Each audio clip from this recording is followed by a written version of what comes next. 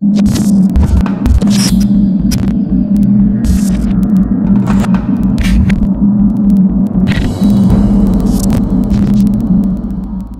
guys welcome back to another video and இந்த வீடியோவில் நம்ம பார்க்க போகிற விஷயம் என்ன அப்படின்னு சொன்னால் சார்பெட்டா பரம்பரை. இந்த படத்தை பற்றி ஒரு சின்னனா ஒரு விளக்கம் அதுக்கு அதுக்கு பின்னாடி இருக்கக்கூடிய ஒரு கதை அதை அப்படி இப்படி பார்த்துடலாம். அண்ட் ஃபஸ்ட் இந்த படத்தை வந்து ப்ரொடியூஸ் பண்ணுறது தயாரிக்கிறது இயக்குனர் பா. ரஞ்சித் அவர்கள். இந்த படம் பார்த்திங்கன்னா தென் தமிழகத்தை அப்படின்னு சொல்லுவேன் தென் தமிழகத்தில் ஜல்லிக்கட்டு தமிழர்களின் வீர விளையாட்டாகவே இருந்துட்டு வருது. அதே போல் சென்னை போன்ற அந்த பெருமாநிலங்கள் இருக்கு இல்லையா? அங்கே அந்த ஏழை எளிய அந்த மக்களோட ஒரு விளையாட்டாக இருந்துட்டு வருது. அவங்களோட காரசாரமான கலாச்சாரமான காரசார கலாச்சார விளையாட்டு அப்படின்னு சொல்லப்படுவது தான் இந்த குத்து சண்டை. அவங்களோட அந்த வாழ்வியலை அப்படியே அழகாக படமாக்கி சொல்லணும் அப்படின்னு நினச்சாரு நம்ம பா. ரஞ்சித் அவர்கள். அப்படி அதுக்காக அவர் தேர்வு செய்து எடுக்க போ எடுக்கப்பட்ட படம் தான் இந்த சார்பெட்டா பரம்பரை அப்படிங்கிற இந்த படம். அதை அவரோட கலைநயத்தோட அவரோட அந்த ஒரு வடிவமைப்போட சொல்லியிருக்க படம் தான் இந்த சார்பெட்டா பரம்பரை அப்படிங்கிற இந்த படம்.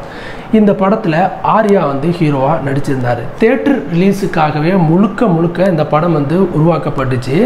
அண்ட் இந்த படம் பார்த்திங்கன்னா பூந்தமல்லி பூந்தமல்லி அப்படிங்கிற இடத்துல மிகப்பெரிய ஒரு பிரம்மாண்டமாக ஒரு செட்டு போட்டு இந்த படத்தை வந்து எடுத்தாங்க. ஆனால் பார்த்திங்கன்னா இந்த கொரோனாவோட செகண்ட் வே அப்படிங்கிறது வந்து ஷூட்டிங்கவே ஃபுல்லாகவே வந்து பார்த்திங்கன்னா பெரிய அளவில் வந்து பெரிய ஒரு பிளாஸ்ட் பண்ணிடுச்சு அப்படின்னே சொல்லலாம். நல்ல வேலையாக இந்த படம் பார்த்திங்கன்னா கொரோனா லாக்டவுனுக்கு முன்னாடியே இதோட எல்லா படப்பிடிப்புகளையும் எடுத்து முடிச்சிட்டாரு நம்ம இயக்குனர் தயாரிப்பாளரான பா. ரஞ்சித் அவர்கள்.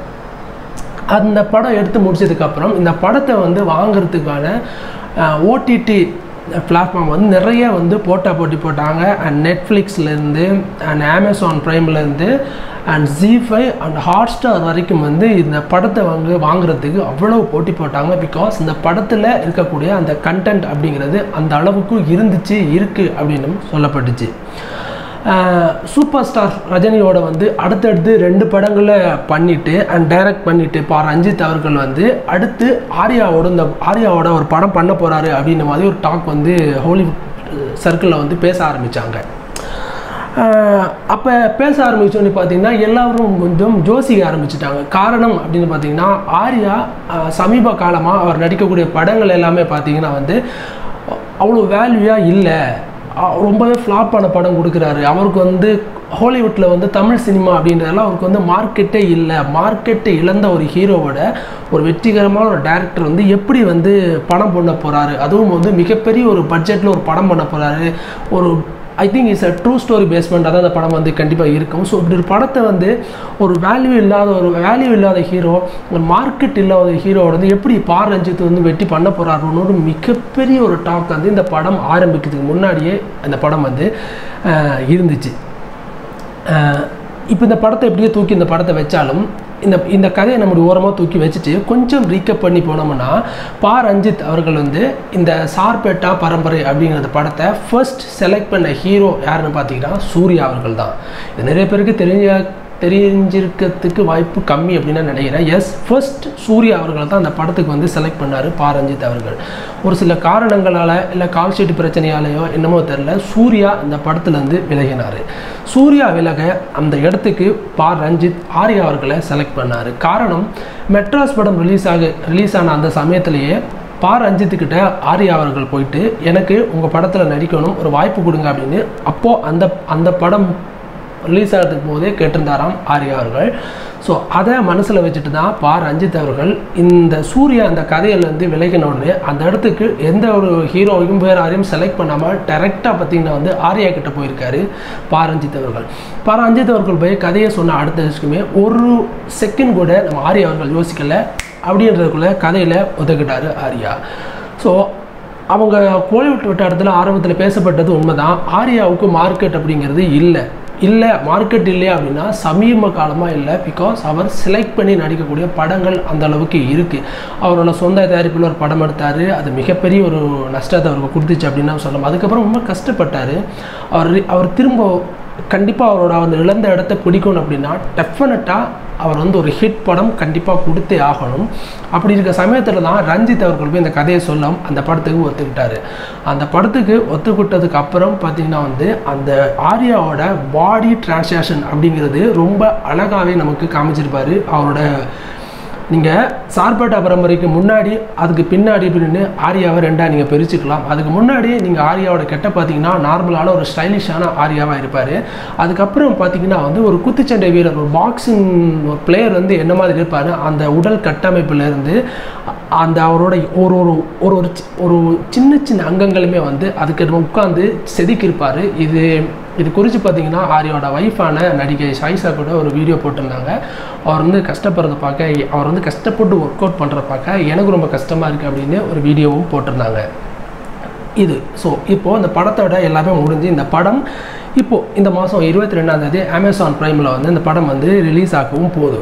ஸோ பிஸ்னஸ் விஷயமாக பார்த்தீங்கன்னா வந்து ஓடிடி மார்க்கெட்டை பொறுத்த வரைக்கும் பார்த்தீங்கன்னா நடிகர் அவங்க விஜய் அஜித் சூர்யா ரஜினி இதெல்லாம் ஓடிடி பிளாட்ஃபார்மை பொறுத்த வரைக்கும் நடிகர் அப்படின்றதுக்கு எந்த ஒரு வேல்யூமே கிடையாது.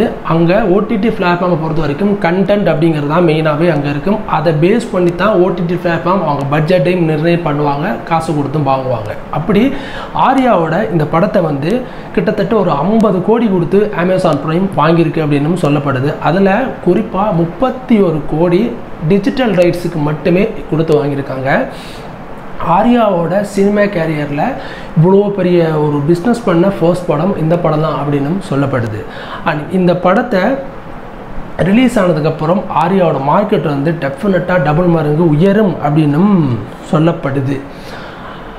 இந்த படத்தை பார்த்தீங்கன்னா வந்து டெஃபினெட்லி வந்து ஓடிடி பிளாட்ஃபார்ம் படத்தை ஃபுல்லாக போட்டு பார்த்துட்டு தான் அந்த படத்தை வாங்கியிருக்காங்க அப்படின்ற மாதிரி ஒரு டாக் வருது. பட் அது எந்த அளவுக்கு உண்மைன்னு தெரியல. பட் அந்த அளவுக்கு சேல்ஸ் பண்ணுவாங்களா அப்படின்னு தெரியல. பட் உண்மையாக இருக்கிறதுக்கு கார உண்மையாக இருக்கிறதுக்கு நிறைய வாய்ப்புகளும் இருக்குது இதுக்கப்புறம் பார்த்தீங்கன்னா வந்து ஓடிடி தளத்தோட வந்து பிஸ்னஸ் ரீதியாக பார்த்தீங்கன்னா இதுக்கு முன்னாடி வந்து பார்த்திங்கன்னா ஓடிடியில் நிறைய தமிழ் படங்கள் ரிலீஸ் ஆகி இருந்தாலும் சூர்யாவோட சூரரை போற்று படம் தான் வந்து ஒரு நல்ல விலைக்கு விலை விலைக்கு விலை போன ஓடிடி மூவி அப்படின்னு சொல்லப்பட்டுச்சு. அந்த ரெக்கார்டை இந்த படம் வந்து உடைச்சிருக்கு அப்படின்னு சொல்லப்படுது. ஈவன் வந்து பிகாஸ் டிஜிட்டல் ரைட்ஸ் அப்படின்னு சொல்லியா தேர்ட்டி ஒன் க்ரோஸ் ஸோ அதை வந்து பிரேக் பண்ணியிருக்கு. அதை விட கம்மியான விலைக்கு தான் வந்து சூர்யாவோட சூரியரை போட்டு போடும் படம் வந்து போ விற்றாங்க அப்படின்னு சொல்லப்பட்டுச்சு. பட் அது எந்த அளவுக்கு எந்த அளவு எந்த அமௌண்ட்டுக்கு கொடுத்தாங்க அப்படின்ற டீட்டெயில்ஸ் வந்து நமக்கு கிடைக்கல. பட் இந்த இதோட இது உண்மை தான் பட் இந்த படத்துக்கு அப்புறம் பார்த்தீங்கன்னா வந்து சு- ஆர்யாவோட மார்க்கெட் என்ன மாதிரி இருக்கும் அப்படின்னா டெஃபினட்டாக ஒரு நல்ல ஒரு மார்க்கெட்டாக இருக்கும். இந்த படம் பார்த்திங்கன்னா ஆயிரத்தி தொள்ளாயிரத்தி எண்பதுகளில் நடக்கிற மாதிரி தான் படத்தோட கதைக்களம் அமைக்கப்பட்டிருக்கு. அந்த ட்ரெய்லர்லேயே நம்ம பார்த்துருப்போம். ஆர்யாவோட கெட்டப் ஆகட்டும் ஆர்யாவோட பேக்ரவுண்டில் கெட்டப் எல்லாமே பார்த்தீங்கன்னா எண்பதுகளில் நடக்கக்கூடிய அந்த ஆண்டுகளில் நடக்கக்கூடிய கதைகள் தான் அந்த படம். டெஃபினட்டாக ஆர்யாவோட ஹிட் படம் கொடுத்தே ஆகணும். பட் எதற்காக இந்த படத்தை வந்து சூர்யா அவர்கள் வந்து ரிஜெக்ட் பண்ணாருன்னு தெரியலை. ஆரம்பத்தில் பேச்சு வந்துச்சு சூர்யாவும் சாரி பாரஞ்சித் அவர்களும் சூர்யாவும் ஒரு படம் பண்ண போகிறாங்கன்னு பட் அதை அஃபிஷியலாக அனௌன்ஸ்மெண்ட் பண்ணுறதுக்கு முன்னாடியே அவர் அதில் வந்து விலகினார். அதுக்கப்புறம் தான் ஆர்யாவுக்கு அந்த இடம் வந்துச்சு. இந்த படம் ஆர்யாவுக்கு கை கொடுக்குமா கொடுக்காதா அப்படின்றதெல்லாம் கேட்கறதுக்கு முன்னாடி டெஃபினட்டாக கை கொடுக்கும் கொடுத்தே ஆகணும் அப்படின்றதான் உண்மை. ரொம்ப நாளாக ரொம்ப வருஷமாக ஒரு வெற்றிக்காக ஒரு வெற்றிக்கனியை சுவைக்கிறதுக்காக கஷ்டப்பட்டு போராடிட்டு இருக்க ஒரு ஹீரோக்களில் தான் வந்து ஆர்யா அவர்களும். ஆர்யா அவர்கள் வந்து ஏன் காமெடி படிமை நடிக்கிறாரு அப்படின்னு கேட்டால் நல்ல கதையோட வந்து காமெடி படங்கள் தான் அவருக்கு பேஸ் நிறைய டைரக்டர்ஸ் வந்து அவரோட காதுகளுக்கு கொண்டு போகிறாங்க நல்ல படங்களை வந்து கொண்டு போகிறது இல்லை அப்படின்னு ஒரு குற்றச்சாட்டு இருந்துச்சு. பட் இந்த படத்துக்கு அப்புறம் ஆர்யா அவர்கள் வந்து நல்ல படங்களை தேர்வு செய்து நடிக்கணும் அப்படின்றது தான் எங்களோட ஆசை. பட் பிகாஸ் வந்து எனக்கு வந்து ஒரு காலகட்டத்தில் வந்து ஆர்யா வந்து ரொம்ப பிடிக்கும். பிகாஸ் அந்த வட்டாரம் படத்துலலாம் பார்த்தீங்கன்னா வந்து ஆர்யா வந்து செம்ம லுக்காக செம்ம ஸ்டைலிஷாக இருப்பார். அந்த ஹேர் ஸ்டைல் ஆகட்டும் அந்த பாட்டில் எல்லாமே செம்ம லுக்காக இருப்பார். பட் அதுக்கப்புறம் எனக்கு ஆர்யாவை பிடிக்காம போகல. ஆர்யாவை வந்து எங்களுக்கு எல்லாருக்கும் பிடிக்க ஆரம்பிச்சிச்சு. ஆர்யாவோட படங்கள் எல்லாரும் பிடிக்காம போக ஆரம்பிச்சிச்சு. காரணம் வந்து அவர் மணிக்கூட படங்கள் எல்லாமே சும்மா படமா அப்படின்ற லெவலுக்கெல்லாம் யோசிக்க ஆரம்பிச்சிட்டாங்க. கடைசியாக ஆர்யா வந்து ஒரு வெற்றி படம் கொடுத்தாரு அப்படின்னு சொல்லிட்டு சொல்லணும் அப்படின்னா பாஸ் என்கிற பாஸ்கரன் அப்படிங்கிற ஒரு படத்தை தான் வந்து ஆர்யாவோட வெற்றி படமாக வந்து இது வரைக்கும் எல்லாரும் நோட் பண்ணி வச்சுருக்காங்க. பட் ரொம்ப கஷ்டப்படக்கூடிய ரொம்ப கஷ்டப்படக்கூடிய ரொம்ப ஹார்ட் ஒர்க் பண்ணக்கூடிய ஒரு ஹீரோ என்ன கேரக்டர் கொடுத்தாலும் அதை தன்னால் மாற்றி மாற்றி நடிக்கக்கூடிய ஒரு வெற்றிகரமான ஹீரோ அவருக்கு இந்த சார்பேட்டா அப்படிங்கிற அந்த படம் வந்து ஒரு வெற்றி படமாக ஒரு திருப்பு முனை அமையும். அதுக்கு முக்கிய காரணம் வந்து பா. ரஞ்சித் அவர்களாக தான் இருப்பார் அப்படின்ற நம்பிக்கையோட இந்த வீடியோ வந்து நாங்கள் க்ளோஸ் பண்ணுறோம் அண்ட் ஆர்யாவோட ஒரு டேர்னிங் பாயிண்ட் ஆஃப் லைஃப் இந்த மூவி தான் டெஃபினட்டி அப்படின்னு சொல்கிறோம் அண்ட் தேங்க்ஸ் ஃபார் வாட்சிங் திஸ் வீடியோ அண்ட் இந்த படம் ரிலீஸ் ஆனதுக்கப்புறம் வந்து சூர்யா ரசிகர்கள் வந்து டெஃபினட்டி வந்து ஃபீல் பண்ணுவீங்க. எதுக்காக வந்து சூர்யா சார் வந்து இந்த படத்தில் வந்து போனார் அப்படின்னு சொல்லி டெஃபினட்டாக ஃபீல் பண்ணுவாங்க. பட் அப்படி ஒரு படமாக அதான் இருக்கும். பட் வேணும்ன்ட்டு சூர்யா சார் வந்து டெஃபினட்டி ரிஜெக்ட் பண்ணியிருக்க மாட்டார். பட் ஏதாவது ஒரு காரணங்களாக இருக்கலாம். அண்ட் கால்ஷீட் பிரச்சனையாக இருக்கலாம். அப்படி இல்லைன்னா கதையில் சில மாற்றங்கள் பண்ணக்கூடிய இருக்கலாம். ஸோ அது ஒத்து வராமல் அடுத்த படம் பண்ணிக்கலாம் அப்படின்னு சொல்லி போயிருக்கலாம் எதுவாக வேணா இருக்கலாம். பட் இந்த படம் ரிலீஸ் ஆனதுக்கப்புறம் சூர்யா ரசிகர்கள் வந்து டெஃபினட்டி வந்து ஏன் சூர்யா அண்ணா அந்த படத்தில் நடிக்கலை அப்படின்னு சொல்லி எல்லாரும் சூர்யா ஃபேன்ஸ் எல்லாருமே டெஃபினட்டாக ஃபீல் பண்ணுவீங்க தேங்க்ஸ் ஃபார் வாட்சிங் திஸ் வீடியோ அந்த வீடியோ பிடிச்சிருந்தா மறக்காமல் நம்ம சேனலுக்கு சப்ஸ்கிரைப் பண்ணிடுங்க கூடவே அந்த பெல் ஐக்கானையும் கிளிக் பண்ணுங்கள் நம்ம சேனலில் நிறைய வீடியோ போட்டிருக்கோம். அந்த வீடியோலாம் போய் செக் பண்ணி பாருங்கள் அதில் ஏதாவது ஒரு வீடியோ உங்களுக்கு பிடிச்சிருக்கும். ஸோ பிடிச்சிருந்தா மட்டும் சப்ஸ்கிரைப் பண்ணுங்கள் உங்கள் ஃப்ரெண்ட்ஸுக்கு ஷேர் பண்ணுங்கள் முக்கியமாக வந்து வீடியோஸ்க்கு கமெண்ட்ஸ் பண்ணுங்கள்